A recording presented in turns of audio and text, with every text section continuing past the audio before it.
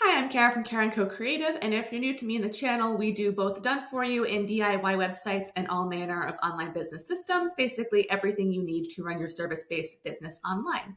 Today, I have a quick tutorial showing you how to create different automations with different email sequences in ConvertKit. Essentially, this is for you if you have different lead magnets that get people onto your list. You want to send them all through the same nurture sequence, but still make sure that they get to that different lead magnet they signed up for. So I'll take you over my shoulder.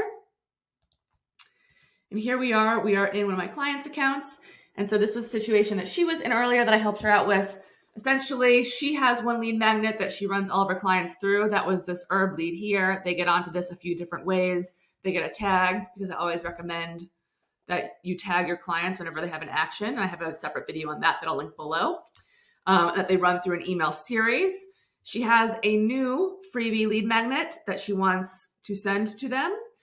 She wants them to get her nurture sequence, but she doesn't want them to get that same link in that email. So she needs to make some changes to the sequence. So you will notice if you just go ahead and duplicate the automation, if you click in here and edit the copy here, it will edit everywhere this sequence is found. So what you do need to do first is go ahead and add another tag via subscribers. And this panel is where you can add another tag. You need to create another landing page or form, so a separate one for delivering this lead magnet. And the big step is we need to come over to send sequences and we need to duplicate the email sequence, the nurture sequence that you want everyone who gets your lead magnet to run through. So we've already done this here, but so you can see how that's done, we have to do is you have to click into the herb lead sequence or whatever sequence yours is called, come to settings and hit duplicate. If you say yes, you're sure you want to duplicate, then what you need to do is go ahead and you can rename it whatever you want, so long as you're going to be sure how to differentiate it from the previous sequence. So I'm going to leave this here for now, the copy of the herb lead. Now when we're in automate, the visual automations, we can go back to that duplicate that we made. We need to make a few changes to it.